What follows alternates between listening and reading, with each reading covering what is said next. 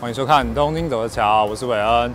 今天呢，我们要带大家到爱知县的丰田市进行四日游的行程啦。哦，大家可以看到呢，在我后面的这个呢，就是名古屋车站喽。好，所以我们现在呢，就要从名古屋车站搭车前往丰田市。爱知县是台湾人心目中日本旅游排行第六名的热门区域。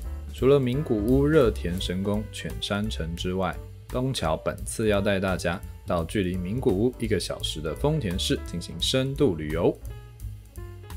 好，那我们现在会带大家呢，从地下铁的名古屋站一路坐到赤池之后，可以看到这边接名铁的丰田线。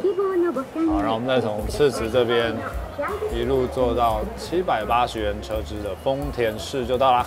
首先这边有繁体中文的选项，马上为您好，买选这个。然后记得要选名铁联运丰田线，然后车资是七百八十元。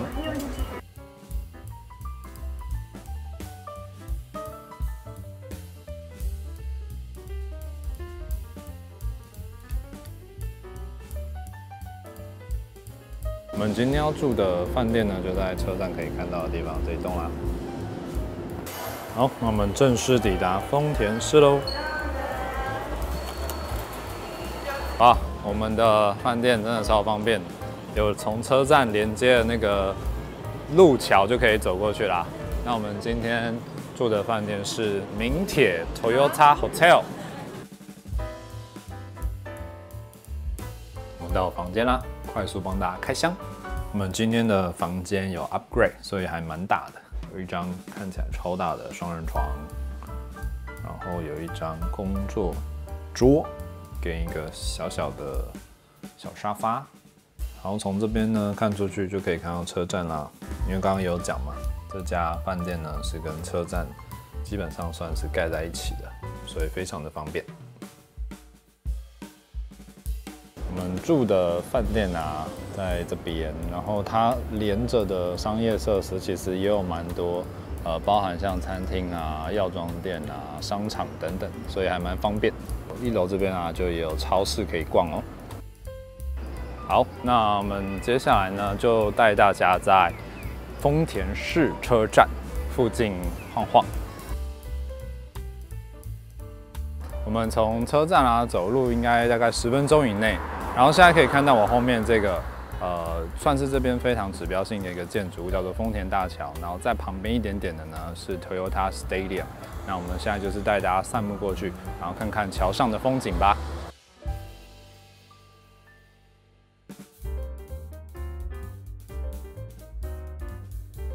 我们现在散步回到丰田市车站的东口啦，然后在这边呢，要来帮大家介绍一下，在丰田市这边呢，比较常见的就是搭巴士的方式，然后主要呢就会是在车站东口的巴士站。好，我们从车站刚刚搭手机下来，然后东口出来之后呢，基本上往前走左转就来到巴士站啦。可以看到这边已经有蛮多人在上车喽。好，那我们巴士这边呢比较热门的是在游客常用的是这个一号的停等车的地方，然后大家比较常搭的是这个小圆丰田线，然后还有这个名铁的可以坐到香兰溪的这两条线是比较常用的。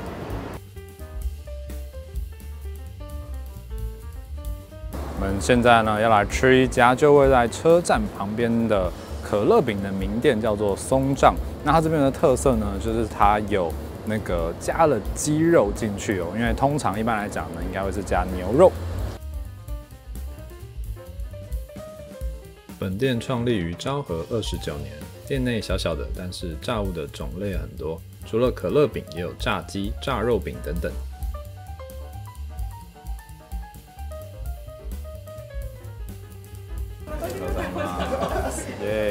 现榨一枚，好，我们已经买好了它的这个特色的鸡肉的可乐饼，那我们来试吃一下吧。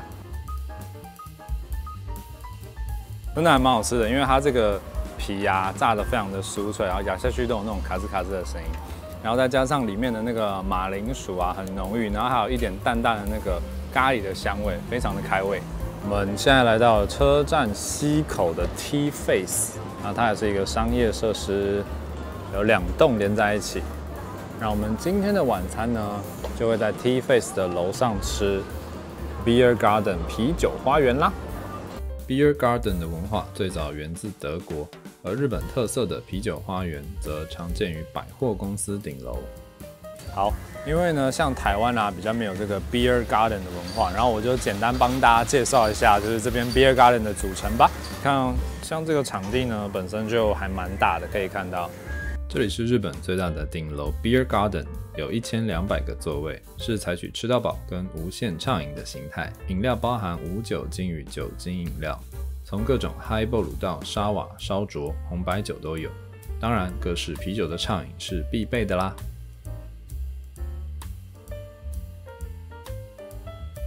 好，这样就完成喽，倒的超漂亮的。好。可以看到大家这个烤肉的氛围非常的欢乐。熟食类的包含串烧、铁板料理类、鸡块、炸肉饼、炸鱼等等各式炸物、煮物；肉类的各式调味后牛舌、牛肉、猪肉、鸡肉等等，各种小菜、甜点，总之超丰富。好了，跟大家讲一下那个费用的方案。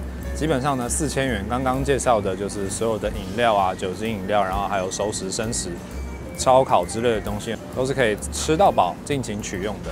另外呢，大家也要记得啊，如果有来吃这种吃到饱的 Beer Garden 等等的，记得千万不要剩东西哦。如果你有剩太多东西的话，会需要追加料金，意思就是呢要罚钱啦。所以大家吃东西的时候要记得不要拿太多哦。那我们现在看到的肉啊，就是我刚刚讲的五千块的套餐才有追加的，然后包含有牛五花、里脊肉，然后有横膈膜、牛肠，然后还有大家台湾人最爱的牛舌啦。那我们等下就在这上面烤的滋滋作响，配啤酒喝喽。那像这个 Beer Garden 这种东西呢，它比较是一种夏季限定的气氛啦，每年大概就是六月到九月左右，营业时间会有所调整。那这里的特色呢，就是可以大家在这边，然后跟自己的亲朋好友一起烤肉，然后有无限畅饮的酒精饮料，享受一个夏日的氛围啦。啊，热了一整天，好爽啊！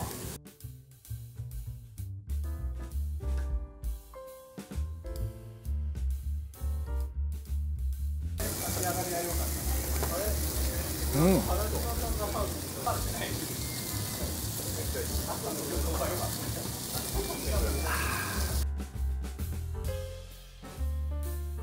嗨，大家，我们已经吃完晚餐，准备要来休息喽。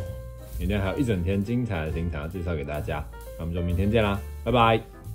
嗨，大家早，我现在呢人在饭店的早餐啦，是这边六楼的餐厅，可以看到六楼这边的景观啦，非常的好。因为像昨天讲的嘛，就是我们的饭店基本上是在车站的附近，所以呢就可以看到车站这边的景色。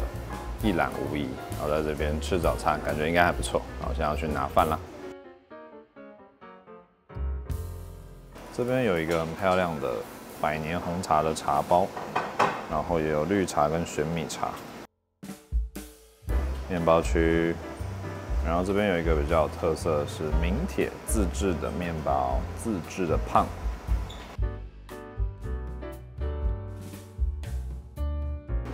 喝一下，我刚刚有拿那个百年的红茶，哦，它刚已经泡了大概有超过五分钟以上吧，而喝起来完全不苦涩，啊，有那个茶香啊，然后还有一点回甘的感觉，超好喝的。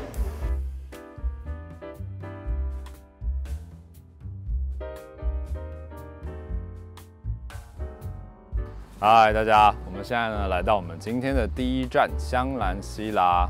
然后呢，如果大家是搭乘巴士的话呢，就可以从我们昨天介绍的地方，然后搭乘巴士到香兰溪这站下车。好，我们大概才走了五分钟而已吧，就来到了就是香兰溪有名的赏枫的景点啦。然后其实在我后面这一片，现在啊绿绿黄黄的叶子，全部都是枫叶哦。我们现在在的这一座红色的桥啊，是岱月桥。那它也是这边在枫红的时候必拍的一座桥。然后不管你是在桥上拍过来啊，或者是在桥的另外一头有一个呃拍照的景点啊，拍过来就是景色啊都非常的好看哦。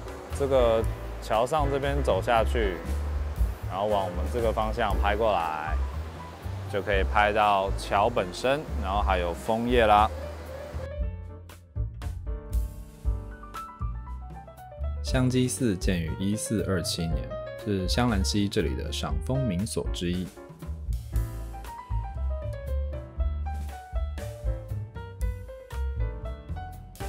香积寺这边的绘马啊，还蛮有趣的，是用枫叶的形状，然后大家可以看到它的绘马有不同的颜色，那它就是会根据季节啊叶子的变换来变颜色，所以呢，接近秋天的时候，它就会变成枫红了。刚刚逛完了香积寺之后呢，接下来要带大家到这边一个非常特别的三洲足住屋夫里面参观一下。好，那它这个地方呢，一进来大家就可以看到有牛牛。好，是因为呢，这里呢主要是在仿啊昭和时期的时候呢，在山上的日本人的生活，所以呢这边的小屋里面集结了有很多像刚刚看到的牛啊，然后呢有做就是像木鞋，然后雨伞，然后做炭等等，就是把在昭和初期的山上农家的生活啊，完整的重现。首先要来体验的是用织布机制作杯垫，一次是三十分钟，费用一千五百元。老师讲解的很清楚，也很有耐心，是连小朋友也可以轻松完成的程度。出国体验手作真的是蛮疗愈的。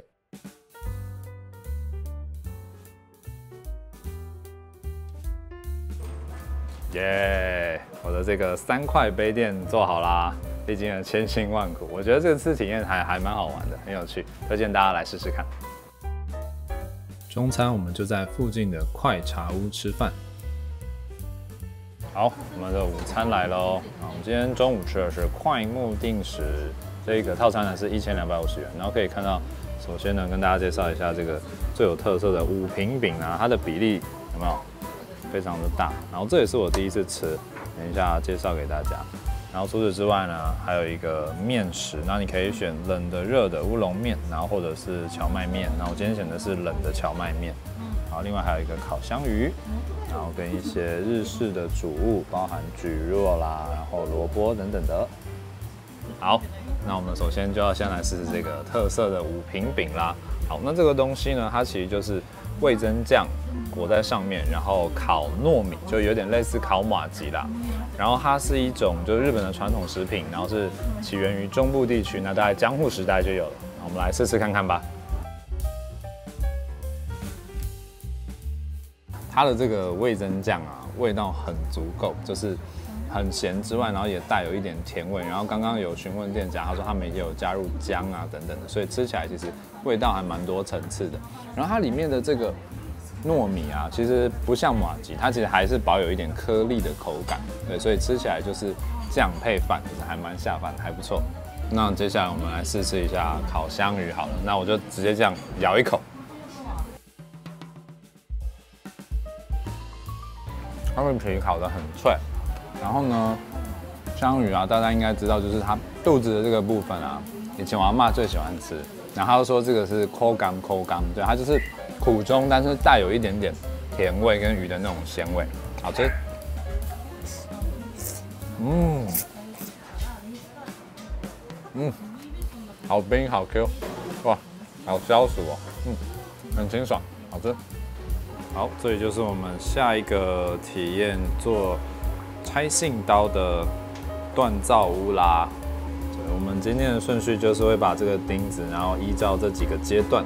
然后做成一把拆信刀。好，我们要先穿上这个打铁围裙。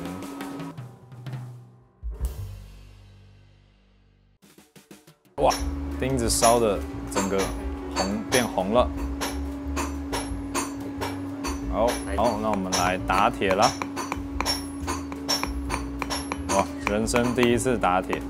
它外面有一些那种都已经整个冷却的还蛮快的。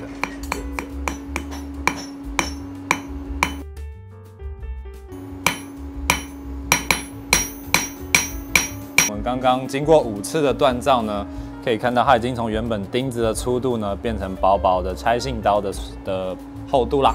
好，那我们接下来就要把那个手柄的部分转成螺旋状。好，我们就扭转它。哇，好，然后再一次。啊，这个可能要平常要健身。啊，魔盖，摸一盖。啊，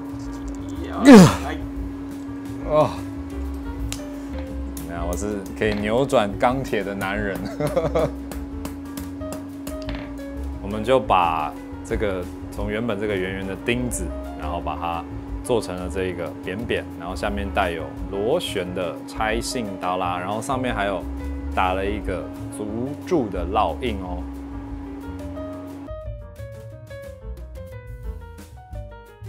好，这个刀面的部分抛光完，就变成我们平常熟悉看到的那种金属的色泽。好，那我们最后一关呢，就是要来测试一下刚的。那个拆信刀锋不锋利啦？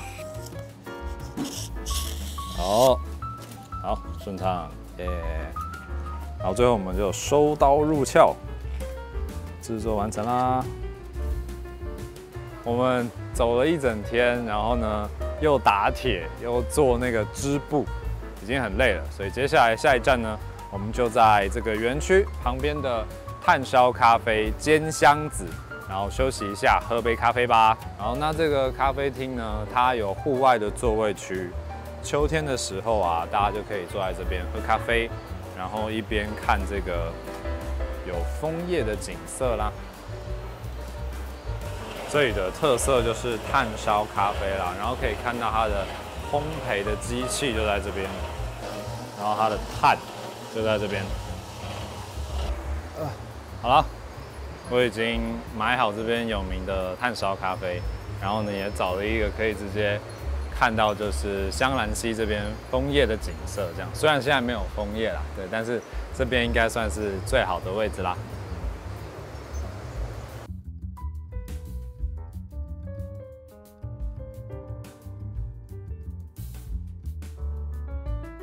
离开香兰溪走路大约十五分钟，就来到了足柱老街。足柱老街保留了江户时代的建筑群，也是爱知县首个国家重要传统建筑群保存区。我们这个老街散步的途中啊，会经过一家书店。那这个旁边呢，有一条小小的巷子，是大家喜欢拍照的地方，带大家去看看。这条万灵小路是老街的人气拍照景点，白色油漆与黑色的板壁形成强烈的复古风格。那我们老街这边呢，还有另外一个重点，就是旧田口家住宅，然后它也是一个老宅所改建的，目前是这边的观光的安内所。然后这个老宅呢，之前是加油站的关系，所以这边有一个壳牌石油的盖子。这个地方啊，给人的那种历史感真的是蛮浓厚的。像我现在坐的这个地方啊，就还闻得到那种以前那种。木头旧房子的那种木头的味道，我觉得这边整个老街营造出来的那种历史的氛围真的是蛮不错。在这边散散步，蛮有趣的。好，那我们现在的老街之旅呢，来到了这一家是日月最终饼。这家店的历史已经非常悠久，那当然来到日月最终饼就要吃它的日月最终饼啦。好，它小小的一个比例大概是这样，外层呢是很像那种。呃，平常吃的饼干，然后上面有写日月。这个最终饼啊，它的外层就是那种很脆很脆的饼干，它里面比较不一样的是呢，一般呢是红豆馅，那它这个呢是叫白豆馅的。我刚刚查了一下，是用一种叫做白腰豆的豆子下去做的内馅，然后它吃起来呢有另外一股香气，然后跟红豆的那种甜比较不一样，没有那么甜腻。好，我们老街之旅的最后一站呢，要带大家来逛的是这个旧铃木家住宅啦。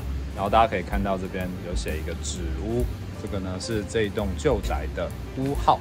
好，那这边呢主要是会在呃周五、周六跟周日的时候开放。我们进来啊，看到的这个第一个部分呢是这里的主屋。那其实这边呢，总共啊有十六栋的重要文化财，但是呢，目前只有主屋这边有开放，那是因为呢，其他的剩下的呢，目前都可以看到在那边是在公示，也就是在维修中啦。另外呢，大家可以看到啊，这个铃木家的旧的住宅呢，它是有大概有两百多年的历史。然后刚刚有提到嘛，因为它是重要文化财，那因为铃木家呢。也是这个算是当地的啊名门望族啦，就是他们家以前一开始是做麦子的，然后后来呢也有做过味增啊，然后金融业，所以算是一个望族所留下来的房子。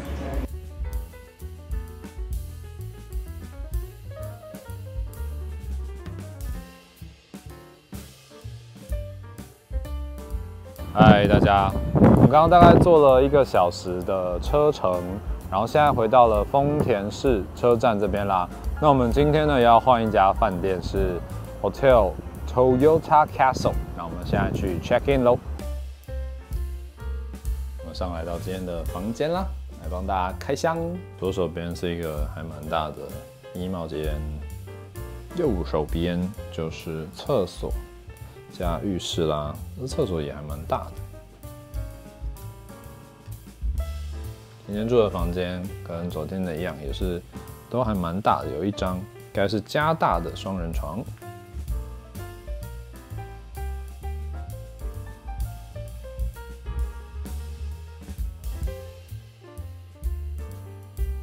我们今天的行程差不多啦，那现在大概是下午的五点半，我们要在饭店附近走路大概十分钟以内的居酒屋吃晚餐喽。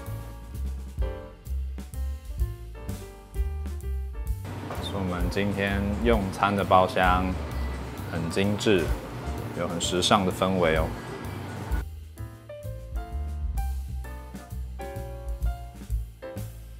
哇，上来的第一道就是我人生看过最豪华的综合生鱼片。好，首先大家应该都有看到这个颜色吧？没错，这个是来自三重县的尾鱼大腹，对，长得像猪肉的。然后这边呢有尾鱼中腹。然后另外这边呢还有安干嘛，然后比目鱼，然后中间这一整只的是竹夹鱼，那另外也有螃蟹啊等等，反正就是看起来非常新鲜、非常好吃的生鱼片啦。那理论上应该是要从白生鱼开始吃啊，但是我觉得呢，我第一口为了避免边际效益递减，好，我要先吃这个大家最爱的 otoro，哇！看这个，这个油脂啊，哑巴好。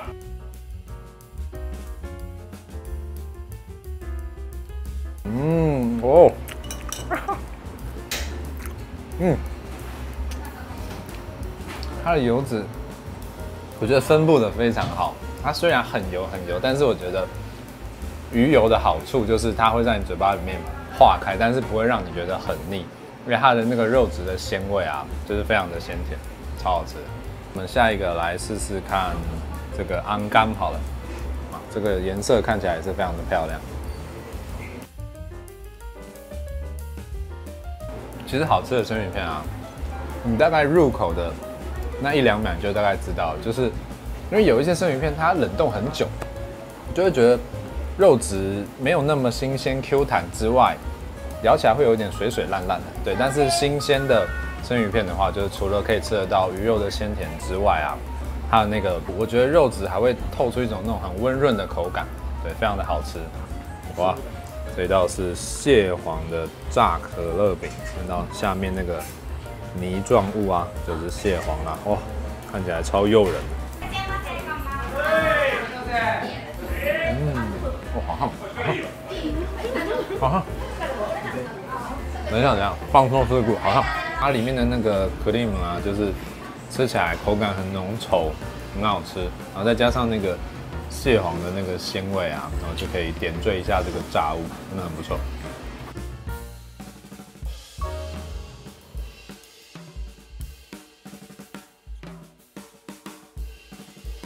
哟，回房间啦，等一下洗澡，工作一下，准备要睡觉喽。最后带大家看一下晚上的丰田市的夜景啦。